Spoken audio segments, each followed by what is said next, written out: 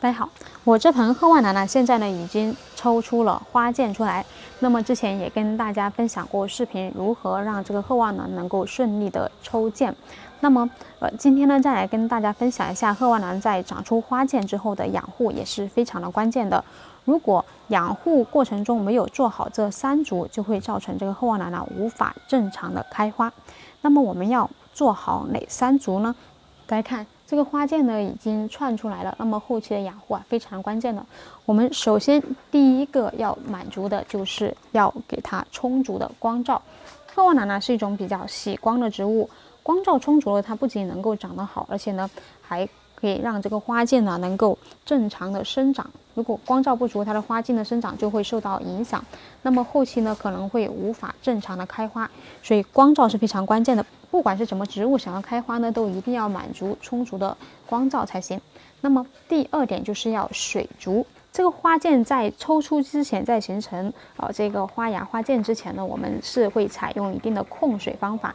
但是呢，如果花剑已经抽出，那么这个水就一定不能够缺了。如果缺水的话呢，这个花剑生长所需要的水分达不到，那么。会导致这个花剑可能会出现这个枯萎，甚至是生长不良的现象。但是呢，又不能够过多的浇水，导致它积水烂根。所以呢，补充充足的水分呢也是非常关键的。盆土干了呢，就要及时的补水，以免造成缺水而花剑枯萎。第三组呢，就是要磷钾肥足。大家应该都知道，花芽分化所需要的磷钾肥的这个含量是非常高的，特别是花剑生长期，如果这个磷钾肥不足，这个花剑的发育呢就会受到影响。那么我们补磷钾肥应该用什么呢？其实因为现在呢刚刚度过这个冬天，植株的这个根系呢可能会受损，或是根系不够发达。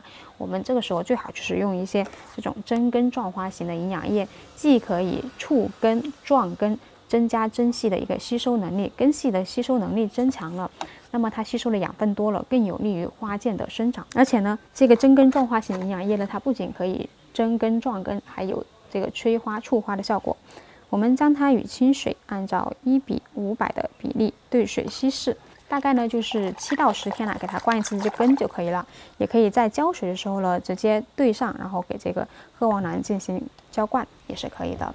但是如果大家家里啊没有这个真根状花型的营养液的话呢，呃，我们用上这个磷酸二氢钾也可以。但是磷酸二氢钾它只含有磷钾肥，其他的营养元素呢就会缺失。如果长期使用的话呢，会导致呃植株出现一个缺素的现象。鹤王兰在花剑长出之后呢，我们呃做到光足、水足、磷钾肥足，那么这个花剑呢就能够撑撑长。后期呢只要养护得当，这个花都是能够正常的开放的。好啦，今天就分享到这里，我们下期再见。